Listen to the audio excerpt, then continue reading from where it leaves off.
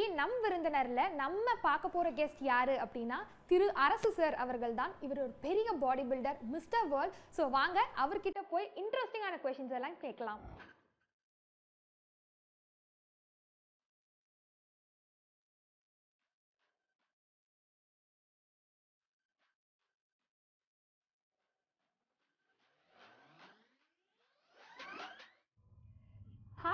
வணக்கம் and welcome நீங்கள் பார்த்துட்டு இருக்கிறது வணக்கம் போதைகளை நம் விருந்தினர் பகுதி. நான் பவித்ரா ராஜசேகரன். என்னடா நம் விருந்தினர் பகுதின்னு சொல்லிட்டு இப்படி ஜிம்ல உட்காந்து ஒர்க் அவுட் பண்ணிட்டு இருக்கனே அப்படின்னு நீங்க யோசிச்சிருக்கலாம். ஆல்மோஸ்ட் கண்டிப்பா நீங்களும் கண்டுபிடிச்சிருப்பீங்க.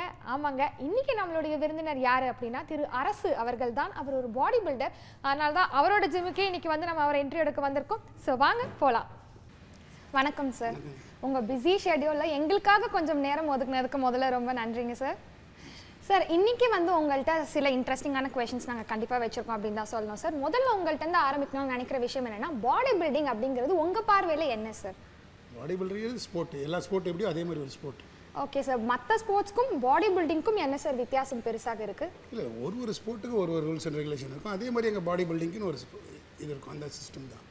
ஓகே சார் வெல் ஜிம்ல நம்ம வந்து நார்மலாக ஃபிட்னஸ்க்காக ஒர்க் அவுட் பண்ணுறது அப்படிங்கிற ஒரு விஷயம் இருக்கு இல்லைங்களா சார் அதுக்கும் பாடி பில்டிங் ப்ரொஃபஷனலாக வந்து ஃபிட்னஸாக இருக்கிறது அப்படிங்கிறதுக்கும் என்ன சார் ஒரு பெரிய வித்தியாசம் இருக்கு? இல்லை ஜென்ரல் ஃபிட்னஸ் வந்து எல்லா பீப்புளும் எல்லாரும் செய்ய போகிறாங்க ஏஜ் ஆனவங்களும் பண்ணுவாங்க சின்ன பசங்களும் பண்ணுவாங்க அது ஃபிட்னஸ்க்காக ஓகே பாடி பில்டிங் ஸ்போர்ட்னு நீங்கள் செலக்ட் பண்ணும்போது நீங்கள் அதுக்காக அதுக்கு என்னென்ன செய்ய வேண்டிய முறையோ அதை நம்ம செஞ்சு தான் okay sir basic rules and regulations என்னவா சார் இருக்கு பாடி பில்டிங்காக ரூல்ஸ் அண்ட் ரெகுலேஷன் கிடையாது. எங்களுக்குன்னு ஸ்ட்ரக்சர் பாடி பில்டிங் ஸ்போர்ட்னா செவன் கம்பல்சரி போசஸ்ன்னு இருக்கும். அந்த போஸின் அடிப்படையில் தான் நமக்கு அவங்களுக்கு பாயிண்ட்ஸ் போடுவாங்க.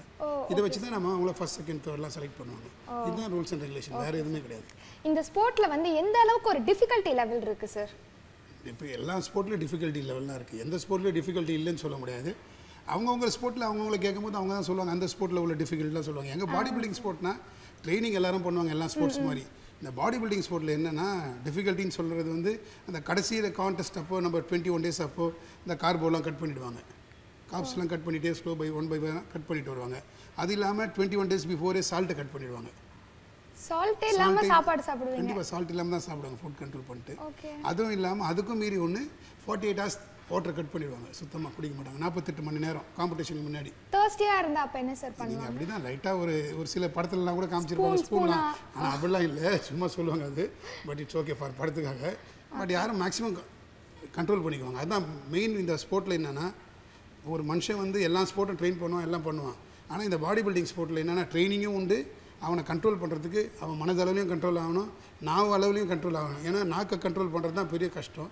அந்த இந்த ஸ்போர்ட்டில் தான் பண்ணி ஆகணும் வேறு வழி இல்லை. மற்ற ஸ்போர்ட்டுக்கும் இதுக்கும் ஆனால் அந்த ஸ்போர்ட்டில் கஷ்டம் இல்லைன்னு சொல்ல முடியாது. எல்லாத்துலேயும் கஷ்டம் இருக்குது. இதில் அதையும் தாண்டி இந்த ஒரு கஷ்டம். கஷ்டம் கிடையாது. எங்களுக்கு பிடிச்சதுனால செய்கிறோம் சார் பாடி பில்டிங் அப்படிங்கிற இந்த ஸ்போர்ட்ல லேடிஸோட பங்கு அப்படிங்கிறது எந்த அளவுக்கு இருக்கு அப்படிங்கறத பத்தி சில வார்த்தைகள் சார் சரி முதல்ல ரொம்ப வருஷமாக இது ஐம்பதாவது வருஷம் தமிழ்நாடை பொறுத்த வரைக்கும் வரப்போகிற மிஸ்டர் தமிழ்நாடு வந்து ஐம்பதாவது வருஷம் நடக்க போகுது. பட் இவ்வளோ வருஷம் இல்லாமல் இப்போ ஒரு ஃபைவ் சிக்ஸ் இயர்ஸாக வந்து உமன் ஸ்போர்ட்டில் பாடி பில்டிங் ஸ்போர்ட் நம்ம இந்தியாவில் ரொம்ப ஃபேமஸ் ஆகிட்டு வருது. நிறைய பேர் பண்ண ஆரம்பிச்சிட்டாங்க. இப்போ நம்ம டூ தௌசண்ட் நைன்டீனில் வரும் இங்கே மிஸ்டர் இண்டியா நடத்தினோம் அப்போ அதில் வந்து நீங்கள் பார்த்துருந்தீங்கன்னா நிறைய மென்னுக்கு ஈக்குவலாக ஒரு ஒரு ஆறு ஏழு உமன் வந்து அவ்வளோ இம்ப்ரூவ் பண்ணியிருந்தாங்க. அது ரொம்ப பெரிய விஷயம். ஏன்னா ஆக்சுவலாக உண்மையிலேயே இந்த ஸ்போர்ட் கஷ்டமான ஸ்போர்ட் மற்ற ஸ்போர்ட்டுக்கும் இதுக்கும் டிஃப்ரென்சியேஷன் என்னென்னா மசில் டெவலப் பண்ணிவிட்டு கட்ஸ் பண்ண வேண்டியது நிறையா விஷயங்கள் இருக்குது அது ஒரு மென்னுக்கே கஷ்டம். பட் ஆஸ் அ ஃபீமேல் அவங்க வந்து இதை அதையும் தாண்டி மசில் மாஸ் டெவலப் பண்ணி கட்ஸ் கொண்டு வரதுலாம் சா ரொம்ப கஷ்டமான விஷயம். ஏன்னா ஈஸியான விஷயம் கிடையாது. ரொம்ப கஷ்டம். எங்களை விட அவங்க ரெண்டு மூணு மடங்கு அவங்க கஷ்டப்படுவாங்க. உண்மை சொன்னால் அப்படி தான் ஏன்னா மென் ஜெனட்டிக் டெஸ்டோஸ்டரன் லெவல் வேறு ஃபீமேல் டெஸ்டோஸ்டரன் லெவல் வேறு. பட் அதையும் தாண்டி அவங்க பண்ணும்போது அவங்க அதனால தான் நாங்கள் சொல்கிறோம் உமன் பாடி பில்டிங் வந்து ரொம்ப ரெஸ்பெக்ட் கூட விஷயம். ஆனால் கஷ்டம் சாதாரண கஷ்டம் கிடையாது. அது ரொம்ப ஜாஸ்தியான விஷயம். அதனால அதுக்கு நம்ம ரெஸ்பெக்ட் பண்ணி ஆகணும். அது நல்லா இப்போ இப்போ நிறைய பேர் பண்ண ஆரம்பிச்சிட்டாங்க. இந்த ஃபேக்டை ஒத்துக்கிறதுங்கிறதே ஒரு மிகப்பெரிய ஒரு விஷயம் சார். கண்டிப்பா இது பாராட்டுதற்குரிய ஒரு விஷயமா தான் சார் ஃபேக்டில் அது உண்மை. நம்ம கண்டிப்பாக ஒத்துதான் ஆகணும். ஏன்னா எங்களுக்கு தான் தெரியும் அது கஷ்டம் என்னன்ட்டு. அதில் அவங்க பண்ணி வின் பண்ணிட்டு வராங்கன்னா அது ரொம்ப பெரிய கஷ்டம். நம்ம தமிழ்நாட்டில் கூட சுஜாதான்னு ஒரு பொண்ணு அவங்க வந்து இந்தியன் ஏர்லைன்ஸில் இருக்காங்க. லாஸ்ட் டூ இயர்ஸ் முன்னாடி ஏஷியாவில் பிரான்ஸ் மெடல் வின் பண்ணாங்க இல்லையா? இந்த மாதிரி இருக்காங்க. சார் ஆக்சுவலி நம்ம யூஸ்வலி ஒரு நாள் ஜிம்முக்கு போயிட்டு வந்தாலே நமக்கு வந்து கை பிடிச்சிக்கும் கால் சுலுக்கிக்கோன்னு வந்து நிறைய கம்ப்ளைண்ட்ஸ் நம்ம வைப்போம். ஆனால் பாடி பில்டிங்கே ஒரு ப்ரொஃபஷனாக இந்த ஸ்போர்ட்டை எடுத்து நம்ம பண்ணும்போது நிறைய வந்து பாடி பெயின்ஸ் அண்ட் இம்பாக்ட்ஸ் எல்லாம் இருக்கும் இல்லைங்களா சார் அதை பற்றி சில வார்த்தைகள் எங்களுக்காக ஷேர் பண்ண முடியுமா சார் எந்த ஒரு புதுசாக எந்த ஒரு வேலைக்கு போனாலும் புதுசாக போகும்போது கஷ்டம்தான். அதை நம்ம போக போக ப்ராக்டிஸ் பண்ணும்போது தான் அது ஈஸியாகும் எல்லாமே. அது ஒன்றும் பெரிய கஷ்டம் இல்லை. ஒரு ஒரு வாரம் புதுசாக செய்யும் போது பெயின் இருக்கும் பாடியில் பெயின்லாம் இருக்கும். அப்புறம் எல்லாம் உங்களுக்கு அந்த பெயின்லாம் இருக்காது. அப்புறமேல அதோட பெனிஃபிட் என்னன்னு நீங்கள் ஃபீல் பண்ண ஆரம்பிச்சிருப்பீங்க. அப்போ நீங்கள் அதை விட முடியாது உங்களுக்கு தெரியும் அது. சார் நீங்கள் பாடி பில்டிங் ஒன்ஸ் ஸ்டார்ட் பண்ணிட்டீங்க அப்படின்னா அது கண்டினியூஸாக ஒரு கன்சிக்யூட்டிவாக ஒரு ஃபோர் ஃபைவ் இயர்ஸ் பண்ணிகிட்டே இருக்கீங்க. சடனாக ஒரு பிரேக் நீங்கள் வந்து விடுறீங்க அப்படின்னா உங்கள் பாடியில் ஏதாவது சேஞ்சஸ் ஆகுமா சார் அதோட இம்பாக்ட் ஏதாவது இருக்குமா சார் நம்ம உடம்புல? சரி அது மாதிரி ஆக்சுவலாக எல்லாமே ஆக்சுவலி என்னோட இது பற்றியே சொல்கிறேன் நான் கண்டினியூஸாக பண்ணியிருந்தேன் இப்போ எயிட்டி எயிட்டில் ஸ்டார்ட் நைன்ட்டி சாரி எயிட்டி எயிட்டில் ஸ்டார்ட் பண்ண ப்ராக்டிஸ் டூ தௌசண்ட் ஃபைவ் வரைக்கும் நான் காண்டெஸ்ட் பண்ணியிருந்தேன். ரெண்டாயிரத்தி அஞ்சு வரைக்கும். அப்புறம் நான் ட்ராப் பண்ணிட்டேன். செய்ய முடியல. சரி சில வேற கால வேலையினால கோச் ஆக்கினதுனால பண்ண முடியல. திருப்பி நான் ஸ்டார்ட் பண்ணேன் சிக்ஸ்டீனில் ஸ்டார்ட் பண்ணேன். பட் அந்த மாதிரி சைடு எஃபெக்ட்லாம் கிடையாது. என்ன நீங்கள் ப்ராக்டிஸ் பண்ணாலும் நம்ம உணவு பழக்க வழக்கங்கள் ஒன்று இருக்குது அதை நீங்கள் கண்ட்ரோலாக இருந்தால் எந்த பிரச்சனையும் இருக்காது. இதுதான். பயிற்சின்றது ஒரு சைடு சப்போர்ட் ஆனால் உணவு பழக்க வழக்கன்றது ஒரு முக்கியமான விஷயம். அதில் நம்ம எவ்வளோ ஸ்ட்ரிக்டாக இருக்கிறோமோ அதை வச்சு தான் நமக்கு எல்லாமே நடக்கும். சார் இவ்வளோ நேரம் வந்து நம்ம உணவு பழக்க வழக்கங்கள் பற்றி பேசணும் இல்லைங்களா சார் இப்போ வெஜிடேரியன்ஸ்க்கு வந்து நீங்கள் டயட் ப்ரிஸ்கிரைப் பண்ணணும் பாடி பில்டிங்காக அப்படின்னா என்ன மாதிரியான ஒரு ஃபுட் பிளானாக இருக்கும் சார் ஒரு ரெகுலராக நம்ம எடுத்துக்கூடிய ஃபுட் ஹேபிட்ஸ் வெஜிடேரியன்ஸ்க்கு அப்படின்னும் போது என்ன சார் நீங்கள் ப்ரிஃபர் பண்ணுவீங்க? வெஜிடேரியன்லேயும் பாடி பில்டர்ஸ்லாம் இருக்காங்க. நம்ம ஊர்லேயே இருந்தால் போல் வெங்கட்னு மதுரை சார்ந்த போன அவனோட பேரே வெஜ் வெங்கட் தான். அவன் வந்து நேஷனல்ஸ் வரைக்கும் வந்துட்டான் வின் பண்ணான் அப்புறம் இன்டர்நேஷனல் கூட போயிருந்தா போல. அவன் வெறும் வெஜ் ஃபுட் தான். இத்தனைக்கும் பால் கூட குடிக்க மாட்டான். ஆமாம் வெறும் நட்ஸ் நிறைய விஷயங்கள் நிறைய ப்ரோட்டீன்லாம் இருக்குது பட் என்னென்னா கொஞ்சம் இந்த நான்வெஜ் ப்ரோட்டீனுக்கும் வெஜ் ப்ரோட்டீனுக்கும் கொஞ்சம் அப்சர்வேஷன்லாம் சில இதெல்லாம் சொல்லியிருப்பாங்க ஆஸ் அ சயின்ஸ் பிரகாரம். பட் ஆனால் அவங்க வெஜ்லேயே நிறைய பேர் பண்ணுறாங்க நார்த்தில் சைட்லேயும் பண்ணுறாங்க நம்ம ஊர்லேயே ஒருத்தர் இருக்கா போல் வெங்கட்னு அதனால் நமக்கு அது ஒரு பெரிய இதெல்லாம் கிடையாது. வெஜிடேரியன்லேயும் பண்ணலாம். நான் வெஜிடேரியன் பண்ணலாம். பட் எல்லாத்துக்கும் காரணம் நம்ம மைண்டு தான். நம்மளோட அச்சீவ்மெண்ட் நம்ம பண்ணணும்னு நினைக்கும் போது கண்டிப்பாக பண்ணுவோம். கண்டிப்பாக சார் நான்வெஜ்னும் போது மெயினாக ப்ரோட்டீனுக்கு நம்ம வந்து என்னெல்லாம் சார் ப்ரிஸ்கிரைப் பண்ணுவோம்? நான்வெஜ்ஜின் ப்ரோட்டீன் போனால் நிறையா இருக்குது ஆனால் வெஜ்ஜில் போகும்போது நிறையா தான் இருக்குது ஆனால் இப்போ நிறையா பேர் இப்போ நம்ம சோஷியல் மீடியாலாம் கொண்டு வந்துட்டாங்க. நிறையா போடுறாங்க. முதல்ல நமக்கு நான் வெஜிடேரியனில் ப்ரோட்டீன் இல்லைன்ற மாதிரி திங்க் பண்ணியிருந்தேன் இப்போ நிறையா இருக்குது எல்லாமே. இந்த பன்னீரில் இருக்குது நட்ஸில் இருக்குது எல்லாம் ஒவ்வொரு ஒரு இதுலேயும் இப்போ நிறைய ஈஸியாக கால்குலேட் பண்ணிட்டு வருது. அந்த மாதிரி இருக்குது அதே போல் நான்வெஜ்லன்னு போகும்போது உங்களுக்கு எக் இருக்குது ஃபிஷ் இருக்குது சிக்கன் இருக்குது மட்டன் இருக்குது அந்த மாதிரி நிறைய வேரியஸ் வேரியஸ் ப்ரோட்டீன் இருக்குது ஈஸியாக சொல்லிடலாம். பட் வெஜிடேரியனில் நமக்கு நாங்கள் ரொம்ப ரொம்ப கம்மியாக எடுக்கிறதுனால ஈஸியாக இருக்குது அது அதில் வெஜிடேரியனே சாப்பிட்றோம். அந்த வெங்கட்ட கேட்டிங்கன்னா அவன் இந்தந்த இதில் நிறையா இருக்குன்னு நிறைய விஷயங்கள் சொல்லுவாங்க சார் இந்த பாடி பில்டிங்கில் வந்து நம்ம உணவு பழக்க வழக்கங்கள் எப்படிலாம் இருக்கணும் டயட் எப்படி இருக்கணும் அப்படிங்கிறத பற்றிலாம் நம்ம நிறைய பேசணும் இல்லைங்களா சார் அதில் முக்கியமாக இந்த ஃபுட்ஸ் எல்லாம் நம்ம தொடவே கூடாது அவாய்ட் பண்ணும் அப்படிங்கிற மாதிரியான ஃபுட்ஸ் என்ன என்ன அப்படின்னு எங்களுக்காக கொஞ்சம் நீங்கள் சொல்ல முடியுமா சார் பாடி பில்டிங்கில் மெயினாக ஃபுட்டு வந்து கம்பல்சரி ஃபுட்டு வந்து டிசிப்ளினாக எடுக்கணும். சார் அதில் மாற்றமே எந்த இதுவும் கிடையாது. தேவையில்லாத ஃபுட் என்னென்னா ஸ்வீட் சாப்பிட்றதுக்கு கொஞ்சம் கண்ட்ரோல் பண்ணிக்கணும். ஃப்ரைட் ஐட்டம் சாப்பிட்றது கட் பண்ணணும். இது ரெண்டு தான் பாடி பில்டிங்க்கு முக்கியமான விஷயம். சார் நார்மலாக வந்து ஒரு ஹியூமன் பீயிங் ஒரு நாளைக்கு த்ரீ லிட்டர்ஸ் ஆஃப் வாட்டர் வந்து கண்டிப்பாக குடிக்கணும் அப்படிங்கிற வந்து யூஸ்வலாக நம்ம எல்லாருமே கேள்விப்பட்டிருக்கக்கூடிய ஒரு விஷயமா தான் சார் இருக்குது அதுவே பாடி பில்டிங் ப்ராக்டிஸ் பண்ணுறவங்க வந்து எவ்வளோ சார் தண்ணி குடிக்கணும்? சரி ஆக்சுவலாக ஜென்ரலாக நீங்கள் சொல்கிற மாதிரி ஹியூமன் பீங் ஜென்ரல் பீப்புள் எல்லாரும் த்ரீ லிட்டர்ஸ் குடிக்கிறாங்க. பாடி பில்டிங் பண்ணுறவங்க எதுக்கு ஜாஸ்தியாக குடிக்கிறாங்கன்னா இன்டேக் ஆஃப் ப்ரோட்டீன் ஜாஸ்தி எடுப்பாங்க. அது இல்லாமல் ப்ராக்டிஸ் டைமில் நிறையா டீஹைட்ரேஷன்லாம் ஆகும். அதுக்காக சேர்த்து கண்டிப்பாக எடுக்க சொல்லுவாங்க. நாங்கள் minimum five to six litres குடிப்போம். கம்பல்சரி. ஏன்னா ப்ரோட்டீன் இன்டேக்லாம் எடுக்கணும் இல்லையா? எல்லாமே அந்த டைஜஷன்லாம் ஈஸியாக பண்ணுறதுக்காக தான் அந்த தண்ணி லெவல் வாட்டர் லெவல் குடிக்கிறது சொல்லியிருப்பாங்க. அது ரொம்ப நல்லது. அதுக்காக தான். மினிமம் ஃபைவ் லிட்டர்ஸாக குடிக்கணும். ஆ சரிங்க சார். சார் இந்த ஸ்போர்ட்டில் கவர்மெண்ட்டோட கான்ட்ரிபியூஷன் இனிஷியேட்டிவ்ஸ் இதெல்லாம் என்னவாக இருக்குது அப்படின்னு வந்து எங்களுக்காக கொஞ்சம் சொல்ல முடியுங்களா சார்? இந்த ஸ்போர்ட் ஆக்சுவலாக ரொம்ப பழைய ஸ்போர்ட் தான். பாடி பில்டிங் ஸ்போர்ட் இப்போவே இதே ஐம்பது வருஷத்துக்கு மேலே தமிழ்நாடு மிஸ்டர் தமிழ்நாடுனே இப்போ நாற்பத்தொம்பது வருஷம் முடிஞ்சு இப்போ வரப்போகிற மார்ச் வந்தால் ஐம்பதாவது வருஷம் மிஸ்டர் தமிழ்நாடு நடக்க போகுது. ஐம்பது வருஷமாக நடக்குது. இதில் நிறைய சென்ட்ரல் கவர்மெண்ட் ஜாப் கிடைக்குங்க எல்லாருக்குமே. முதல் வின் பண்ணவங்க எல்லாருக்குமே சென்ட்ரல் கவர்மெண்ட்டில் ரயில்வேஸில் சர்வீசஸில் army air force income tax postal department இதிலலாம் இருக்குது சென்ட்ரல் கவர்மெண்ட் சைடில் சம்மந்தப்பட்ட எல்லா ஜாபும் நமக்கு கிடைக்குது. பட் ஸ்டேட் கவர்மெண்ட்லேருந்து நமக்கு கிடை கிடைக்கல. பட் அதுக்காக தான் இப்போ நாங்கள் லாஸ்ட் டைமே கூட லெட்டர் கொடுத்துருந்தோம். பழைய சிஎம் கிட்ட. இப்போ இப்போ வந்திருக்க சிஎம்க்கும் இப்போ லெட்டர் கொடுக்கறதுக்கு இப்போ நம்ம வேர்ல்டு வின் பண்ணிட்டு வந்தோம். இப்போ ஹெல்த் மினிஸ்டர்கிட்டயும் ஸ்போர்ட்ஸ் மினிஸ்டர்கிட்டையும் லெட்டர் கொடுத்துருக்கோம். இப்போ சிஎம் பார்த்து லெட்டர் கொடுக்கலாம்னு சொல்லியிருக்காங்க. அப்பாயின்மெண்ட் கிடைச்சவொன்னே பார்த்து கொடுப்போம். கண்டிப்பாக த்ரீ பர்சன்ட் ஆட் பண்ணிடுவேன்னு சொல்லியிருக்காங்க. ஏன்னா சிலம்பத்துக்கு கொடுத்துருக்காங்க இல்லையா? த்ரீ பர்சன்ட் ஆட் பண்ணிட்டாங்க. ஸோ அதே நம்பிக்கை தான் இருக்குது எங்கள் ஸ்போர்ட்டுக்கு பாடி பில்டிங்கும் கிடைச்சிரும்.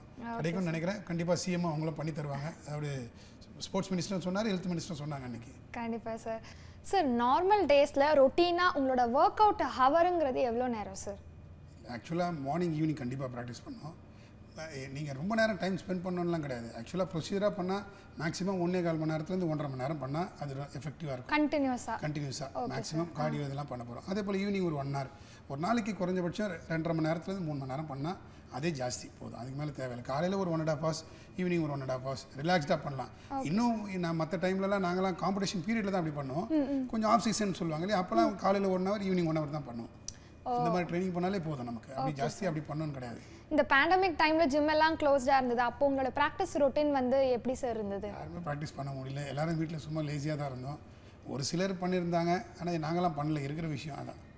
சார் இந்த பாடி பில்டிங் அப்படிங்கிற இந்த ஸ்போர்ட் வந்து ரொம்ப எக்ஸ்பென்சிவான ஒரு ஸ்போர்ட்டா சார் ஆக்சுவலாக எக்ஸ்பென்சிவ் தான். ஏன்னா இதில் மெயின் வந்து மற்ற ஸ்போர்ட்ஸுக்கு வந்து சில எல்லாத்துலேயும் எக்ஸ்பென்சிவ் இருக்கலாம். பட் எங்கள் ஸ்போர்ட்டுக்கு என்னென்னா இந்த ஃபுட் அப்படி டெய்லி ஃபுட் இருக்கு இல்லையா? எங்களுக்கு முக்கியமானது என்ன தான் நம்ம ப்ராக்டிஸ் பண்ணாலும் ப்ரோட்டீன் இன்டேக்குன்னு ஒன்று இருக்குது அந்த ப்ரோட்டீன் இன்டேக் இவ்வளோ இவ்வளோ பாடி வெயிட்டுக்கு இவ்வளோ இவ்வளோ எடுக்கணும்னு இருக்குது இப்போ அறுபது கிலோ இருக்கிறவர்னா ஒரு நூற்றி எண்பது கிராம் ப்ரோட்டீன் இரநூறு கிராம் ப்ரோட்டீன் எடுக்கணும் ஆமாம் அப்போ தான் உங்களுக்கு மசில் growth ஆகும். ப்ராக்டிஸ் பண்ணும்போது உங்களுக்கு ஷேப் தான் கிடைக்கும். டோன் ஆகும் அந்த மாதிரி ஸ்ட்ரென்த்தன் ஆகும். ஆனால் மசில் வளர்கிறதுக்கு ப்ரோட்டீன் வேணும். ஸோ அப்போ அந்த ப்ரோட்டீன் சாப்பிட்றது தான் கஷ்டம். அதுக்காக தான் நிறைய பேர் இது எக்ஸ்பென்சிவ்வாங்க பட் நம்மளும் நிறைய விஷயங்கள் இருக்குது அதுக்கு ஏற்ற மாதிரி எக்கனாமிக்கலாகவும் பண்ணணும். அது நம்ம கையில் தான் இருக்குது எல்லாமே. ஆனால் எக்ஸ்பென்சிவ் தான். இந்த கேம் ஸ்போர்ட்ஸ் பேசும்போது ஆனால் நிறையா பேர் வசதியானவங்கலாம் பண்ணுறது இல்லை ரொம்ப நடுத்தர பசங்களும் அந்த மாதிரி இதுதான் பண்ணுறாங்க ஏன்னா இது ஏன்னா இந்த ஸ்போர்ட்டில் சொன்னேன் இல்லையா இது எக்ஸ்பென்சிவாக இருந்தாலும் கடைசி நேரத்தில் நம்மளோட ஃபுட் கண்ட்ரோல் பண்ணுறோம் இல்லையா அது ஒரு கஷ்டமான விஷயம். அதனால நிறைய பேர் பண்ண மாட்டாங்க ஓகே. இந்த பாடி பில்டிங்க்கு உலக அளவில் என்ன மாதிரியான ஈவெண்ட்ஸ் எல்லாம் அஃபிஷியலாக கவர்மெண்ட் சார்பில் வந்து கண்டக்ட் பண்ணுறாங்க அப்படிங்கிறத பற்றி சில வார்த்தைகள் எங்களுக்காக சொல்லுங்கள் சார். சரி இப்போ ஒரு ஸ்டே ஃபஸ்ட்டு நம்ம ஸ்டேட் டிஸ்ட்ரிக்ட்லேருந்து எடுக்கிறோன்னா ஒரு district level mister Madras mister Chennai நடக்கும். இல்லை மிஸ்டர் காஞ்சிபுரம் டிஸ்ட்ரிக்ட் லெவலில் வரும் அந்த மாதிரி. ஸ்டேட்டில் மிஸ்டர் தமிழ்நாடு நடக்கும். ஸ்டேட் முடிஞ்ச உடனே மிஸ்டர் சவுத் இந்தியா அதே ஸ்டேட்லேயே வந்து ஜூனியர் மிஸ்டர் தமிழ்நாடு சீனியர் இரு இருபத்தோரு வயசுக்குள்ளே இருக்கிறவங்களுக்கும் இருபத்தோரு வயசுக்கு மேலே இருக்கிறவங்களுக்கும் ஜூனியர் அண்ட் சீனியர் நடக்கும். அதே மாதிரி தான் ஜூனியர் இந்தியாவும். ஜூனியர் இந்தியான்னு ஒன்று நடக்கும். ஜூனியர் இந்தியாங்கிறது வந்து என்ன age category below twenty one இருபத்தோரு வயசுக்குள்ளே இருக்கிறவங்களுக்கு தான் ஜூனியர் இந்தியா இருபத்தோரு வயசுக்கு மேலே போனால் மென்ல வந்துருவாங்க மென் கேட்டகரியில் வந்துருவாங்க. ஸோ அது மிஸ்டர் இந்தியாவில் வரும். இதே மாதிரி சவுத் இந்தியான்னு வரும். இதில் இந்த மாதிரி கான்டெஸ்ட் இது சவுத் இந்தியா இந்தியா முடிஞ்சதுக்கப்புறம் நமக்கு சவுத் ஏஷியான்னு ஒரு கான்டெஸ்ட் இருக்குது இதெல்லாம் கவர்மெண்ட் அண்டரில் போகிறது சவுத் ஏஷியா அதுக்கப்புறம் ஏஷியா மிஸ்டர் ஏஷியா அப்புறம் மிஸ்டர் வேர்ல்டு சாம்பியன்ஷிப் இப்போ தான் நடந்த லாஸ்ட் இந்த மாதம் ஒன்றாம் தேதியிலேருந்து ஏழாம் தேதி வரைக்கும் உஸ்பெகிஸ்தான் நடந்த மிஸ்டர் வேர்ல்ட் சாம்பியன்ஷிப் அது நாங்கள் எல்லாம் போயிட்டு வந்த டீம் அதில் என்ன இந்தியன் டீம் கோச்சாக போட்டிருந்தாங்க. இதுதான் ஃபர்ஸ்ட் டைம் வந்து இந்தியா வந்து டீம் சாம்பியன்ஷிப் வின் பண்ணிருக்கு. செகண்ட் உஸ்பெகிஸ்தான் வந்து தேர்ட் வந்து ஈரான் வந்தது. அதே ஒரு பெரிய விஷயம் நமக்கு சந்தோஷம். கண்டிப்பாக சார் சார் பாடி பில்டிங்கோட அட்வான்டேஜஸ் என்னென்ன சார் அதோட பெனிஃபிட்ஸ் என்ன சார் அட்வான்டேஜ்னா நம்ம என்ன பெனிஃபிட்னு கேட்குறீங்க பாடி பில்டிங்னால சி எல்லாம் ஸ்போர்ட்டை பண்ணுறாங்க அந்த ஸ்போர்ட் வின் பண்ணுறோம் ஜெயிக்கிறோம் அதுக்கு ஒரு இது. பட் பாடி பில்டிங் பண்ணுறது என்னென்னா நம்ம ஹெல்த் வெல்த்துன்னு சொல்லியிருக்காங்க. அதனால சில ஆக்சுவலாக என்னென்ன அட்வான்டேஜ்னு சொல்கிறீங்க இல்லையா? நிறைய பேர் எங் இரு பிலோ டுவெண்ட்டி ஒனில் இருப்பாங்க இல்லையா? அட்வான்டேஜ்னு சொல்லுங்க அவங்க வந்து கொஞ்சம் பார்க்கும்போது மேன்லியாக இருப்பாங்க. சரி இப்போ ஏஜ் ஆனவங்க எல்லாம் பார்க்கும்போது பட் Young-ஆ அவங்க ஏஜ் தெரியாது. எங்கே தெரியும். ஓகே அந்த மாதிரி சில அட்வான்டேஜஸ் இதுதான் நீங்கள் சொல்கிறது இது ஒண்டி தான் சொல்ல முடியும். பட் ஸ்போர்ட்ஸை பொறுத்த வரைக்கும் எப்படி வின் பண்ணுறாங்க மற்ற ஸ்போர்ட் மாதிரியே தான். அட்வான்டேஜ்னா பிலோ இருபத்தொரு வயசு பார்க்கும்போது அவனை பையனை பார்க்கும்போது கொஞ்சம் ஹியூஜாக பெரிய ஆள் மாதிரி தெரிவான். அதே நீங்கள் ஒரு கொஞ்சம் ஏஜ் ஆனவங்கள பார்த்தா கூட அவன் சின்ன பையன் மாதிரி அந்த ஒரு டைம் அதுதான் அட்வான்டேஜ்னு சொல்ல முடியும் ஓகே சார் உங்கள் அச்சீவ்மெண்ட் ரெக்கார்டை வந்து எங்ககிட்ட இப்போ ஷேர் பண்ணிக்கோங்க சார் என்னோட அச்சீவ்மெண்ட் சொன்னீங்கன்னா நான் ஃபஸ்ட்டு ஃபஸ்ட்டு வின் பண்ணது வந்து யூனிவர்சிட்டி மெட்ராஸ் யூனிவர்சிட்டி காம்படிஷன் நான் படித்தது மெட்ராஸ் கிரீன் காலேஜ் அதுலேருந்து ஃபஸ்ட்டு அது காம்படிஷன் போனேன். அதான் என்னோட ஃபஸ்ட்டு கான்டெஸ்ட் நைன்டி ஒனில் மெட்ராஸ் யூனிவர்சிட்டி வின் பண்ணேன். அப்புறம் மிஸ்டர் மெட்ராஸ் வின் பண்ணேன். அப்புறம் ஜூனியர் மிஸ்டர் தமிழ்நாடு அப்புறம் மிஸ்டர் தமிழ்நாடு. அதுக்கப்புறம் ஆல் இந்தியா யூனிவர்சிட்டி வின் பண்ணேன் நைன்டி ஃபோரில் அப்புறம் மிஸ்டர் சவுத் இந்தியா வின் பண்ணது. அதுக்கப்புறம் ஜூனியர் மிஸ்டர் இந்தியா அதுவும் காலேஜ் படிக்கும்போது அந்த இருபத்தொரு வயசுக்குள்ளே இருந்தேன் அதுக்கு படிக்கும்போது ஜூனியர் மிஸ்டர் இந்தியா வின் பண்ணேன். அதுக்கப்புறம் மிஸ்டர் இந்தியா அப்புறமேல அப்புறம் மிஸ்டர் ஏஷியா போயிருந்தேன். மிஸ்டர் ஏஷியாவில் அப்போ பிளேஸ் கிடையாது அப்போ பார்ட்டிசிபேட் பண்ண அப்போ அதுக்கப்புறம் டூ தௌசண்ட் டூலேயே மிஸ்டர் யூனிவர்ஸ் எகிப்து போய் கலந்துருந்தேன். பட் அப்பயும் பொசிஷனில் மிஸ்டர் யூனிவர்ஸ் பண்ணும்போது அதெல்லாம் பார்ட்டிசிபேட் தான் பண்ணேன். இப்போ ரொம்ப நாளுக்கு அப்புறம் விட்டதுக்கப்புறம் இப்போ மாஸ்டர்ஸில் நான் ஏஷியாவில் பிரான்ஸ் மெடல் வின் பண்ணேன். ஓகே அதுக்கப்புறம் வேர்ல்ட்லேயும் அதே போல் பிரான்ஸ் மெடல் வின் பண்ணேன். டூ தௌசண்ட் எயிட்டீனில் இது என்னோட highest achievement okay sir sir இந்த பாடி பில்டிங்கில் ஏதாவது ஏஜ் ரெஸ்ட்ரிக்ஷன்ஸ் இருக்கா சார் அதாவது இந்த ஏஜுக்கு மேலே இருக்கவங்களால கண்டிப்பாக பார்ட்டிசிபேட் பண்ண முடியாது. அந்த மாதிரி ஏதாவது ரெஸ்ட்ரிக்ஷன்ஸ் இருக்கா சார் எதுவுமே பண்ண முடியாதுன்னுலாம் எதுலேயும் கிடையாது. நம்ம முயற்சி பண்ணால் கண்டிப்பாக பண்ண முடியும். அதில் எந்த விதமான இப்படி தான் இந்த டைமில் பண்ணணும்ல. கொஞ்சம் அதை அவ தான் அவங்க மனதான் அவங்க மனசு வச்சா செய்ய முடியும் இல்லையா? எல்லாமே அதுதான். அதில் இந்த ஏஜ் ரிஸ்ட்ரிக்ஷன்லாம் கிடையாது. இப்போ நீங்கள் கான்டெஸ்ட்டே எடுத்துக்கிட்டீங்க சொல்லுங்க இல்லையா? இப்போ டுவெண்ட்டி ஒன் இருபத்தோரு வயசுக்குள்ளே காம்படிஷன் சொன்னேன். அதுக்கப்புறம் மென் நாற்பது வயசுக்கு மேலே மாஸ்டர்ஸ் கேட்டகரின்னு இருக்குது ஓகே நாற்ப அவங்களும் பார்ட்டிசிபேட் பண்ணுறாங்க ஐம்பது வயசுக்கு மேலே இருக்குது. அறுபது வயசு மேலேயும் இருக்குது அந்த மாதிரி ஏஜ் வைஸாக அப்போ கேட்டகரி போயிடும். ஸோ எல்லாருமே பண்ணிட்டு தான் இருக்காங்க. இப்போ நம்ம சொல்ல போனால் நம்ம ஊர்லேருந்து ஐம்பதுலேருந்து அறுபது வயசுக்குள்ளே இப்போ வேர்ல்டு சாம்பியன்ஷிப் வந்தாங்க இல்லையா? ஒருத்தர் ராஜேந்திரன்றவர் சில்வர் மெடல் அடிச்சார். ஜெயராமன்றவர் ஃபிஃப்த் பொசிஷன் வந்தார். டா- இது பாடி பில்டிங்கில் வந்து டாப் ஃபைவ் எடுப்பாங்க. அஞ்சு பேருக்கு ப்ரைஸ் கொடுப்பாங்க எப்பயுமே. அது இந்த ஸ்போர்ட்டுக்கு ஓகே அது மாதிரி ரெண்டு பேரும் செஞ்சுருக்காங்க அதே பெரிய விஷயம் தமிழ்நாட்டிலேருந்து வந்து வேர்ல்டில் சாம்பியன் வேர்ல்டில் வின் பண்ணிட்டு வந்திருக்காங்க. ஓகே சார் அதுதான் ஏஜ்லாம் கிடையாது. முயற்சி தான். அவங்க நினைக்கிறாங்க பண்ணுறாங்க அவங்களோட ஹார்ட் ஒர்க் இருக்காங்க கண்டிப்பாக சார் சார் நீங்கள் இத்தனை அவார்ட் லிஸ்ட்டோட பெருசாக சொன்னீங்கல்ல சார் இதில் பர்டிகுலராக உங்களோட ஃபேவரட் உங்கள் க்ளோஸ் டு ஹார்ட்னு ஒரு அவார்டு இருக்கும்ல சார் அது ஏன் அண்ட் என்னது? சரி அது என்னோட ஃபஸ்ட்டு காம்படிஷனில் யூனிவர்சிட்டி வின் பண்ணது தான் என்னோட பெரிய அச்சீவ்மெண்ட் ஏன்னா ஃபஸ்ட் டைம்ல ஃபஸ்ட் டைம்லேயே நான் செலக்ட் பண்ணி போயிட்டு காம்படிஷன் பண்ணும்போது நான் ஃபஸ்ட்டு வந்தேன். என்னோட மெட்ராஸ் யூனிவர்சிட்டி அது என்னோட ஃபஸ்ட்டு க்ளோஸ்டு அதுக்கு அப்புறம் ஒன் பை எல்லாமே சி எந்த இந்த காம்படிஷன் வின் பண்ண வின் பண்ண ஒரு ஒரு லெவல் போகும்போது அது அச்சீவ்மெண்ட் தான். கடைசியாக பண்ணது வந்து மிஸ்டர் வேர்ல்டு இந்த மாதிரி எந்த கான்டெஸ்ட்டுமே க்ளோஸ் டு ஆர்ட் இல்லாத போல் எல்லா கான்டெஸ்ட்டுமே எதுவுமே இந்தியாவும் சரி தமிழ்நாடும் சரி சவுத் இந்தியா ஏஷியா எல்லாமே அது வந்து ஜெயிக்கும் போது அதோட சந்தோஷம் வேறு எதுவுமே கிடையாது. ஆனால் நீங்கள் சொன்ன மாதிரி ஃபஸ்ட்டு ஃபஸ்ட்டு வின் பண்ணது வந்து என்னோட மெட்ராஸ் யூனிவர்சிட்டி. அதோட அது என்னால் மறக்க முடியாது. அதுதான் பெரிய விஷயம். கண்டிப்பாக சார் மிஸ்டர் வேர்ல்டோட ஜேர்னி எங்ககிட்ட கொஞ்சம் ஷேர் பண்ணிக்க முடியுமா சார் இல்லை மிஸ்டர் வேர்ல்டு வந்து நான் பண்ணது வந்து ஃபஸ்ட்டு ஃபஸ்ட் டூ தௌசண்ட் டூவில் மிஸ்டர் யூனிவர்ஸ் பண்ணேன். ஓகே அது எனக்கு என்னால் மறக்க முடியாத விஷயம். ஏன்னா அப்போ நாங்கள் வந்து இந்தியா நமக்கு அப்போ இந்தியாவிலேருந்து ரொம்ப கம்மி பேர் தான் போவோம். பெரிய எங்களுக்கு ரெகக்னேஷன் கிடைக்காது அப்போ நாங்கள் அப்போ நாங்கள் போகும்போது நானும் குமரன் அந்த இங்கே தமிழ்நாட்டிலேருந்து நாங்கள் ரெண்டு பேர் தான் மிஸ்டர் யூனிவர்ஸ் போனோம். இந்தியாவிலேருந்து ஆறு பேர் போனோம். அதில் நாங்கள் ரெண்டு பேர் தமிழ்நாட்டிலேருந்து போனோம். மிஸ்டர் யூனிவர்ஸ் எகிப்தில் போனது வந்து வாழ்க்கையில் மறக்க முடியாது. பட் ஆனால் அங்கே நாங்கள் டாப் லிஸ்ட்டில் தான் வந்தோம். ப்ளேஸ்லாம் பண்ண முடியாது. அந்த டாப் டென் எடுப்பாங்க. டாப் ஃபைவ்லலாம் நாங்கள் வர முடியல. பட் அதை வச்சு அதுக்கு போயிட்டு வந்ததுக்கப்புறம் தான் எங்களுக்கு ஒரு பெரிய இன்ஸ்பிரேஷன் ஸ்டார்ட் ஆச்சு. நாங்கள் பண்ணோம். நிறையா ஜெயிக்க வேண்டியது இருக்கும். அந்த மாதிரிலாம் பண்ணோன்ற ஒரு எண்ணங்கள் தோணுச்சு நிறையா விஷயங்கள். அது என்னோட பெரிய விஷயம் அதில். அப்புறம் இப்போ அதோட எண்ணங்கள்லாம் வந்து எப்போ நிறைவேறுச்சுன்னா இப்போ ரெண்டாயிரத்தி பதினெட்டில் தான் நிறைவேறுச்சு. மிஸ்டர் வேர்ல்ட் மிஸ்டர் வேர்ல்டும் மிஸ்டர் ஏஷியா மாஸ்டர்ஸ் மிஸ்டர் ஏஷியாவும் மாஸ்டர் மிஸ்டர் வேர்ல்டு பண்ணேன். அதுக்கு பண்ணதுக்கு காரணமாக திருப்பி என்னோட பையன் தான் அது.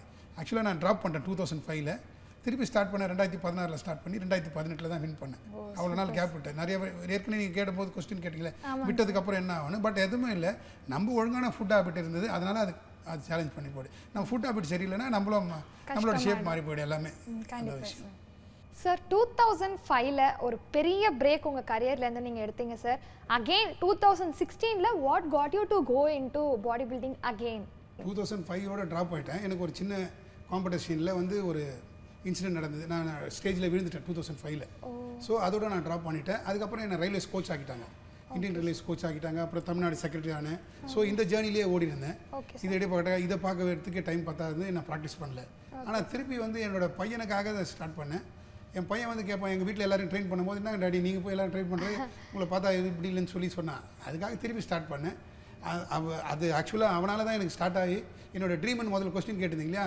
வின் பண்ணதெல்லாம் ஓகே வேர்ல்டெல்லாம் ஆனால் இந்தியன் ஃபிளாக் பிடிக்கல அது வரைக்கும். ரெண்டாயிரத்தி அஞ்சு வரைக்கும் நான் எதுவும் வின் பண்ண இன்டர்நேஷனலாக வின் பண்ணல. இன்டர்நேஷனல் வின் பண்ணும்போது தான் நம்ம இந்தியன் ஃபிளாக் ஹோல்ட் பண்ண. முடியும். அதை வந்து அவனால தான் எனக்கு அதை அச்சீவ் பண்ண முடியுது. டூ தௌசண்ட் எயிட்டீனில் திருப்பி நான் ஏஷியா வின் பண்ணும்போதும் வேர்ல்டு வின் பண்ணும்போதும் நம்ம இந்தியன் ஃபிளாக் ஹோல்ட் பண்ண முடிஞ்சது. அதுதான் என்னோட ட்ரீம் நீங்கள் சொன்னது அது கண்டிப்பா அதில் முடிஞ்சது சார் ஒரு மனுஷன் வந்து சக்ஸஸ்ஃபுல்லாக வரான் சாதனை பண்ணுறான் அப்படின்னாலே பொதுவாகவே யாருக்குமே பிடிக்காது. அப்படி இருக்கும்பொழுது இவ்வளவு வெற்றிகளை நீங்கள் வந்து ஜெயிச்சிருக்கீங்க அப்படின்ற பட்சத்தில் என்ன மாதிரியான இன்சல்ட்ஸ் எல்லாம் வந்து நீங்கள் ஃபேஸ் பண்ணீங்கன்றதை பற்றி எங்ககிட்ட கொஞ்சம் ஷேர் பண்ண முடியுமா சார்? இல்லை இல்லை. எங்கள் ஆக்சுவலாக என்னை பொறுத்த வரைக்கும் ஸ்போர்ட் இந்த ஸ்போர்ட் பண்ணும்போது எல்லாரும் எங்கள் வீட்டில் என் ஃபேமிலி சைடு சப்போர்ட் எங்கள் பிஸ்னஸ் எங்கள் சர்க்கிள் எல்லாருமே சப்போர்ட் பண்ணாங்க. எங்கள் பிரதர்ஸ் எல்லாருமே. என் ஃபேமிலி சைடு நல்லா சப்போர்ட் பண்ணதுனால தான் என்னால் இவ்வளோ தூரம் நான் தான் சொன்னேன் நைன்ட்டி ஒன்லேருந்து டூ தௌசண்ட் ஃபைவ் வரைக்கும் பண்ணேன். திருப்பி என்ன ஸ்டார்ட் பண்ணதுக்கும் ஃபேமிலி சர்க்கிள்லாம் சப்போர்ட் பண்ணாங்க. இன்சல்ட் பண்ணுறதுலாம் இல்லை. நம்ம இன்சல்ட்டை அவங்க அவங்க என்ன நினச்சி பண்ணுறாங்கன்னு எனக்கு தெரியாது. அதை நான் இன்சல்ட்டெல்லாம் எடுத்துக்கல. நிறைய பேர் சொல்லியிருக்கலாம் பின்னாடிலாம் சொல்லுவாங்க. அதெல்லாம் நான் கேட்கல. எது பாசிட்டிவ் அதை ஒன்று எடுத்துகிட்டு நான் போகிறவன் தான் நான். எனக்கு இன்சல்ட்டை பற்றிலாம் நான் கவலைப்படுறதில்ல. ஏன்னா நான் என்ன பண்ண போகிறேன்னு தெரியும். நான் என்ன நல்லது பண்ணேன்னா எனக்கு தெரியும். நான் கெட்டது பண்ணுறேன்னா அது எனக்கே தெரியும். அதனால ஆக்சுவலாக நான் அதை பற்றி பெருசாக எதில் எடுத்துக்கல. எது பாசிட்டிவ் அதை எடுத்து பண்ணிட்டு போயிட்டேன் சார் சார் பாடி பில்டிங் அப்படிங்கிற இந்த ஸ்போர்ட்குள்ளே நீங்கள் ஃபஸ்ட்டு ஃபஸ்ட்டு வர்றதுக்கு என்ன ஒரு இன்ஸ்பிரேஷனாக இருந்தது சார் சரி ஆக்சுவலாக நான் சொன்னேன் எங்கள் ஃபேமிலியில் வந்து எங்கள் ஃபாதர் அண்ணன் தம்பிலாம் ப்ராக்டிஸ் பண்ணுவாங்க. ஃபாதர்ஸ் எல்லாம் பண்ணுவாங்க. அதை பார்ப்பேன். அதுக்கு முன்னாடி ஒருத்தர் சதீஷ் ராஜான்னு இருப்பார். ஓகே சார் அவர் ஆக்சுவலாக சின்ன வயசில் பார்ப்பேன். ஆக்சுவலாக அவர் ஹைகோர்ட்டில் இப்போ அட்வொகேட்டாக இருக்கார். ஓகே சார் அவர் அவர் பண்ணிட்டு அவர் பார்ப்பேன். அதெல்லாம் ஒரு இன்ஸ்பிரேஷன் ஆச்சு. அப்படியே நான் பாடி பில்டிங் ஸ்டார்ட் பண்ணேன் ஓகே சார் சார் நார்மலி வந்து கண்டினியூஸாக ரொம்ப ஸ்ட்ரிக்டாலாம் வந்து டயட் ஃபாலோ பண்ணுறது அப்படிங்கிறது ரொம்பவே கஷ்டமான ஒரு விஷயம். உடம்ப கூட நம்ம கண்ட்ரோல் பண்ணிடலாம் பட் நாக்கு கண்ட்ரோல் பண்ணுறது சீரியஸாகவே ரொம்ப கஷ்டமான ஒரு விஷயம் தான் சார் அப்படி இருக்கும்போது சீட் டேஸ் டயட்டில் கொஞ்சம் அப்பப்போ சீட் பண்ணிக்கிறது அப்படிங்கிற ஒரு எக்ஸம்ஷன்ஸ்லாம் இருக்கா சார் நாங்கள் வந்து மற்ற நாள்லாம் ஓகே இந்த காம்படிஷன் ப்ரிப்பரேஷன் ஒரு பதினாறு வாரம் இருக்கு இல்லையா?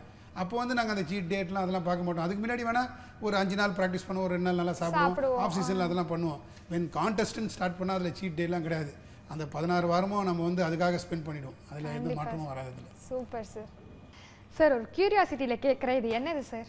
இது வந்து ஆக்சுவலாக ஸ்பின் பைக்குன்னு வாங்க ஓகே. இது எப்படின்னா என்ன வித்தியாசம்? இல்லை என்ன பெனிஃபிட்னா நம்ம ஜென்ரலாக ரோட்லலாம் ஓட்டு போகிறாங்க இல்லையா? வெளியே அவுட் சைடு ஓட்டு போகிற வெளியே ஓட்டு போகிற சைக்கிள் மாதிரியே. நீங்கள் இதில் வந்து உட்காந்துட்டும் பண்ண முடியும்.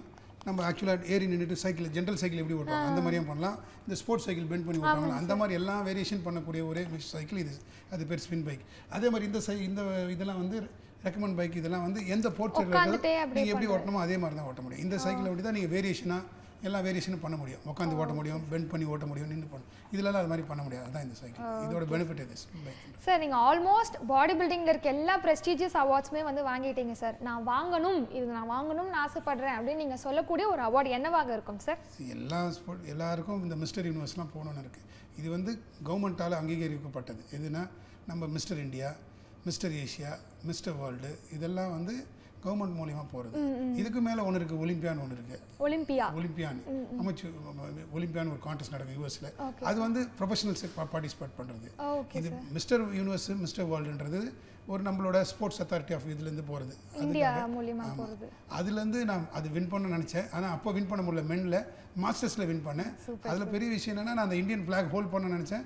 அது ஹோல்ட் பண்ணேன். அது ஒரு பெரிய சந்தோஷம் நமக்கு. அதான் என்னோட ப்ரெஸ்டேஜ் நினச்சேன். அது நடந்தது. பட் இன்னும் வரப்போகிற நம்ம யங் ஜென்ரேஷன்லாம் இதையும் தாண்டி நிறைய பேர் வின் பண்ணுவாங்க. என்னோட ஸ்டூடெண்ட்லாம் நிறைய பேர் வின் பண்ணியிருக்காங்க. கோல்டுலாம் வின் பண்ணியிருக்காங்க.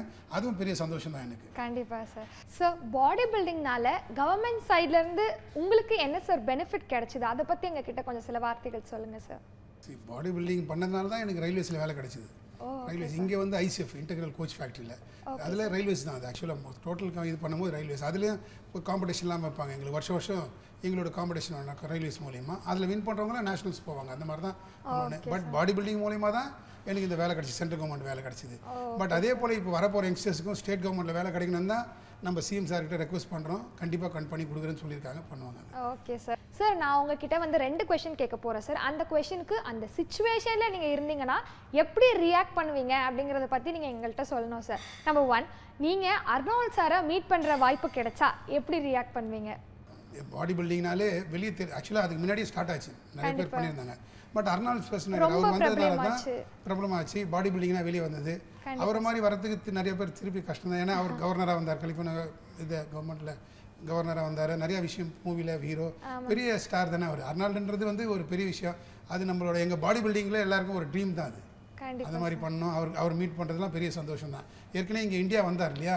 அப்போ என்ன சென்னை வந்தார். அப்போ என்னால் மீட் பண்ண முடியாது. அப்போ நான் சைனாவில் ஒரு வேற ஒரு விஷயத்துக்காக போக வேண்டியது வந்து Oh, super, அப்போ அங்கே இருந்தேன். மற்றவங்கலாம் போய் பார்த்தாங்க. நான் நீங்கள் ஏற்கனவே இன்டர்வியூ பண்ணியிருந்த பாஸ்கர் அவங்கலாம் போய் மீட் பண்ணாங்க எல்லாருமே.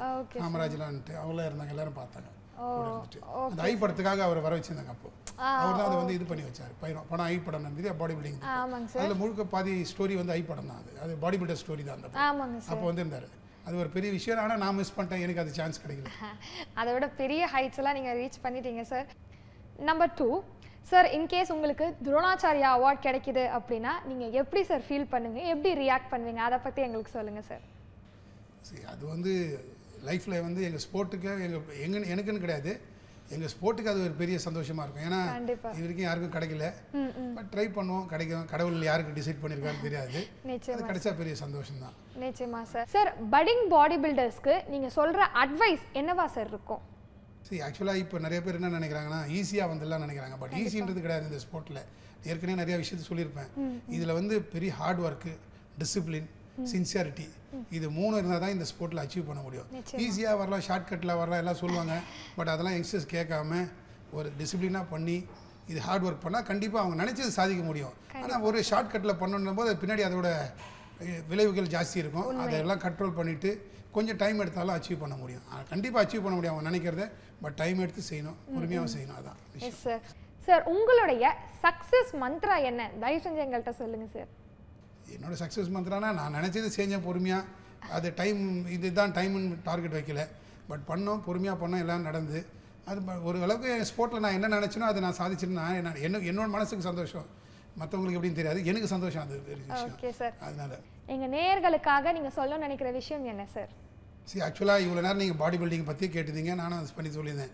பட் எல்லா ஜென்ரல் பீப்புளும் எல்லாரும் ஒரு நாளைக்கு குறைஞ்சது நாற்பத்தஞ்சு நிமிஷத்துலேருந்து ஒரு மணி நேரம் உங்களுக்காக உங்கள் ஹெல்த்துக்காக ஸ்பெண்ட் பண்ணுங்கள் டெய்லி அன்றாட வேலையில் நிறைய வேலைகள்லாம் போவீங்க. எல்லாம் உண்மையிலே கஷ்டம்தான்.